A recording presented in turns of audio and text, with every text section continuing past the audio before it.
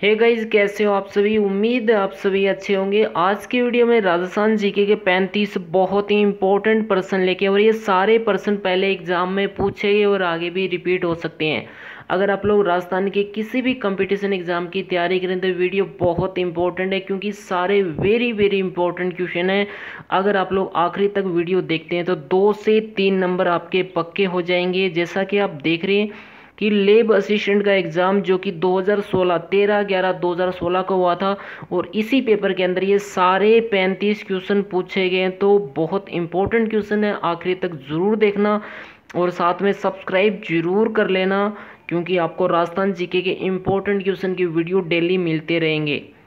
चलिए दोस्तों, पहला क्वेश्चन आप सभी के सामने, आप लोग भी आंसर देने की कोशिश कीजिएगा ताकि आपको पता चल सके कि आपकी तैयारी कैसी है। पुस्तक वीर विनोद किसके द्वारा लिखी गई है? बहुत इजी क्वेश्चन है, लेकिन ये पर्सन कई बार रिपीट हो चुका है। श्यामल दास ऑप्शन सी इसका राइट आंसर होगा। सेकंड क्वेश्चन की हम बात करेंगे। मैसोलिथिक शब्द का वास्तविक शाब्दिक अर्थ आपको बताना है। मेसोलिथिक का जो शाब्दिक अर्थ है, वो राइट आंसर हो जाएगा। ऑप्शन ए मध्य पाषाण, मध्य पाषाणकालीन युग।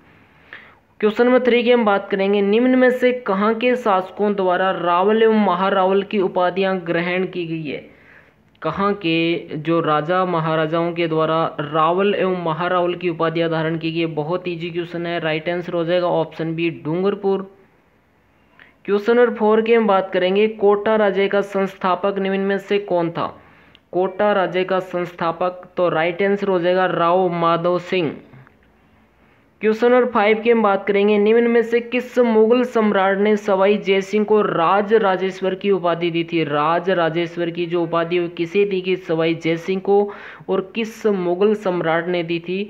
तो वेरी वेरी इंपॉर्टेंट क्वेश्चन है, Mohammad Shah option D. Question number six की हम बात करेंगे। निम्न में से आपको बताना है कि कौन सा मेल सही नहीं है। राणा प्रताप सिसोदिया, राजा मानसिंह हाड़ा, जसवंत सिंह राठौड़ और महाराणा हमीर गुहिल। इनमें से आपको गलत है, वो आपको बताना है। तो यहाँ पे अब साफ़ दिख रहा है, ये मानसिक हाड़ा जो कि गलत है, बाकी सारे सही है तो ऑप्शन भी हमारा उत्तर हो जाएगा। क्वेश्चन सेवन की हम बात करेंगे। इसके अंदर आपको बताना है कि कुछ युद्धों की सूची दी गई है, और इनका जो मध्यकालीन राजस्थान में लड़ेगी इनका कार्यक्रम। जो काल है, उसके आधार पे आपको क्रम आपको बताना है। त्राइन का पहला युद्ध खानवा समेल और बटवाड़ा के युद्ध का जो क्रम आपको, सही क्रम आपको बताना है तो यहाँ पे जैसा कि आप देख रहे हैं क्वेश्चन नंबर सेवन का उत्तर हो जाएगा बी। ये क्रम वाइज इस तरह से होगा कुछ। नेक्स्ट क्वेश्चन की हम बात करेंगे, क्वेश्चन नंबर एट। निम्न में से जो है, किले और दुर्गों में कौन सा युगम सही है? यहाँ पे सही का बताना है कि एक तरफ़ किले और दुर्ग का नाम है और यहाँ पे एक जगह स्थान दिया गया है तो सही उत्तर हो जाएगा क्वेश्चन नंबर एट का C, Shergarh Kosvardhan. Question number nine की हम बात करेंगे, संत पाबूजी के शिष्य मुख्यतः, संत पाबूजी के शिष्य मुख्यतः हैं। तो question number nine Rewari option A, इसका राइट आंसर होगा। क्वेश्चन नंबर टेन की हम बात करेंगे। राणा कोमा को निम्न में से वाद्यंत्रों में किसकी दक्षता हासिल थी? कई बार ये प्रश्न बन चुका है और बहुत ईजी क्वेश्चन है। तो क्वेश्चन नंबर टेन का option C veena. Question number ग्यारह की हम बात करेंगे। कोटा चित्रकारी शैली की विषय वस्तु मुख्य रूप से। कोटा चित्रकारी शैली की विषय वस्तु ये भी कई बार पूछा गया है। शिकार के दृश्य उसमें दिखाए गए हैं। क्वेश्चन नंबर बारह की यहाँ पे बात हो रही है। सूची एक और सूची दो में सुमिलित कीजिए और इनका जो कूट आपको बताना है। तो जल्दी से आप लोग आंसर दीजिएगा। बहुत अच्छा क्वेश्चन है। इस तरह के प्रश्न आजकल एग्ज़ाम में बनते हैं। काफ़ी जो है क्वेश्चन करने में आपको टाइम भी लगता है और साथ में जिनकी अच्छी तैयारी होती है वही क्वेश्चन अटैम्प्ट कर पाते हैं क्योंकि यहाँ पे चार जो ऑप्शन है उनको मिलान करना है। तो क्वेश्चन नंबर बारह का ऑप्शन ए हो जाएगा। दो, एक, चार, तीन। क्वेश्चन नंबर तेरह की हम बात करेंगे। निम्न में से कौन सा जल दुर्ग है? इनमें से कौन सा जल दुर्ग है? और आप सभी जानते हैं, कई बार प्रश्न हो चुका है, गागरोन का दुर्ग जो कि जल दुर्ग श्रेणी में आते हैं। क्वेश्चन नंबर चौदह की हम बात करेंगे, एक शासक और संत पीपा किस स्थान से संबंधित है? संत पीपा जी जो कि निम्न में से कौन से स्थान से संबंधित है? तो ये भी गागरोन से है, ऑप्शन डी। और पंद्रह हमारा क्वेश्चन पेपर में डिलीट कर दिया था। तो हम सिक्सटीन की तरफ़ बढ़ते हैं। सीताबाड़ी का प्रसिद्ध मेला किस ज़िले में लगता है? सीताबाड़ी का फ़ेमस मेला कहाँ पे लगता है? और आप सभी जानते हैं, बहुत ईजी क्वेश्चन है, बारह में। क्योंकि ऑप्शन के आधार पे बारह। क्वेश्चन नंबर सत्रह की हम बात करेंगे। रानी जी की बावड़ी का निर्माण के द्वारा राजा के शासनकाल में कराया गया। तो रानी जी की बावड़ी का जो निर्माण है, वो अनिरुद्ध सिंह के काल में और नाथावत रानी ने बूंदी में करवाया था। जो कि इनमें चार ऑप्शन नहीं है। यहाँ पे नोट दे देखिए इसका सही उत्तर दिया गया राव अनिरुद्ध सिंह के काल में नाथावत रानी ने बूंदी में करवाया था। क्वेश्चन नंबर अट्ठारह की हम बात करेंगे। चैम्बर ऑफ़ प्रिंसेस का प्रथम चांसलर। ये भी प्रश्न कई बार बन चुका गंगा सिंह थे। क्वेश्चन नंबर नाइनटीन की हम बात करेंगे। मेवाड़ और अंग्रेज़ों के मध्य संधि का हस्ताक्षर किए गए। मेवाड़ और अंग्रेज़ों के मध्य जो संधि हुई थी, वो हुई थी तेरह जनवरी अट्ठारह ठीक है, यहाँ पे भी ऑप्शन में नहीं है तो इसका जो नोट लगा के सही उत्तर दिया गया, ये प्रश्न भी जो है डिलीट हुआ था। क्वेश्चन नंबर बीस की हम बात करेंगे। भरतपुर और अलवर में ब्रिटिश ईस्ट इंडिया कंपनी के साथ संधियाँ की गई। भरतपुर एवं अलवर में ब्रिटिश ईस्ट इंडिया कंपनी के साथ संधि कब की गई? तो क्वेश्चन नंबर बीस का हो जाएगा, सितंबर से नवंबर 1803 में। क्वेश्चन नंबर इक्कीस की हम बात करेंगे, राजपुताना एजेंसी की स्थापना कहाँ और कब हुई थी? राजपुताना एजेंसी की जो स्थापना है, वो अजमेर में हुई थी और 1832 में ऑप्शन डी इसका सही उत्तर होगा।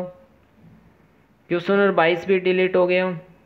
क्वेश्चन नंबर तेईस की हम बात करेंगे। निम्न में से कौन सी गणना को महात्मा गांधी ने डायर की कृति से दुगुना विविष्य कांड बताया? यानी डायर से भी अधिक जो है खतरनाक बताया था। क्वेश्चन नंबर तेईस का राइट आंसर हो जाएगा। निमुचना घटना जो मई 1925 में हुई थी। क्वेश्चन नंबर चौबीस की हम बात करेंगे। प्रसिद्ध एक ही आंदोलन का नेतृत्व, एक ही आंदोलन जो कि मोतीलाल तेजावत। क्वेश्चन नंबर पच्चीस भी डिलीट हो चुके हैं।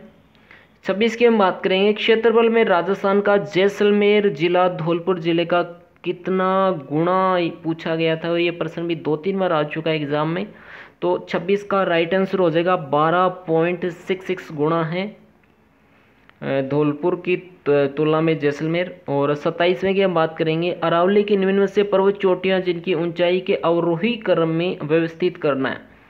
आपको अवरोही क्रम में इसका उत्तर बताना है।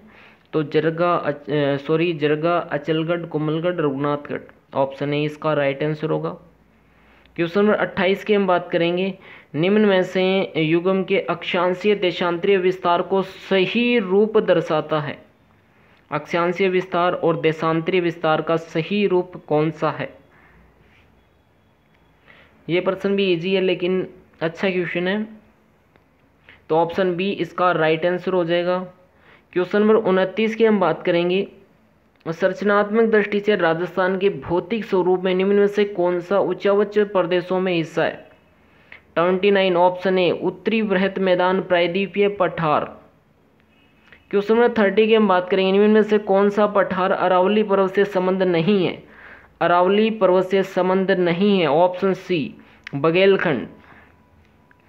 Thirty one की हम बात करेंगे, वह नदी जो राजस्थान में दक्षिण से प्रवेश करने के उपरांत पश्चिम की ओर बहती है, पुनः दक्षिण की ओर मुड़ जाती है। ऐसी कौन सी नदी है जो राजस्थान में दक्षिण से प्रवेश करती है, उपरांत पश्चिम की ओर बहती और पुनः दक्षिण की ओर मुड़ जाती है? तो थर्टी वन का राइट आंसर हो जाएगा ऑप्शन ए, माही नदी।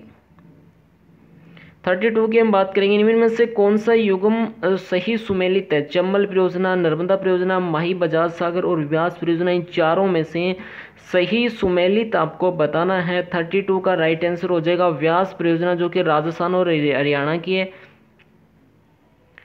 थर्टी थ्री की हम बात करेंगे, बिजराल की पहाड़ियों से निकलने वाली खारी नदी निम्न में से किस अपवाह तंत्र का भाग है? बिजराल की पहाड़ियों से निकलने वाली खारी नदी किस अपवाह तंत्र का भाग है? तो ये बंगाल की खाड़ी का है। कोपेन द्वारा प्रस्तुत जलवायु प्रदेशों में राजस्थान कौन सा सुमेलित नहीं है? इनमें से कोपेन ने जो बनाया था वर्गीकरण, जलवायु प्रदेशों में बांटा था, उसमें से कौन सा नहीं आपको बताना है। थर्टी फोर का जो राइट आंसर हो जाएगा option B C W G और हम थर्टी फाइव की बात कर रहे हैं। निम्न में से कौन सा युग्म सही सुमेलित नहीं है, इसका उत्तर आपको कमेंट में देखना है। देखते कितने स्टूडेंट सही उत्तर दे पाते हैं। आप लोग कमेंट में ज़रूर उत्तर दीजिएगा।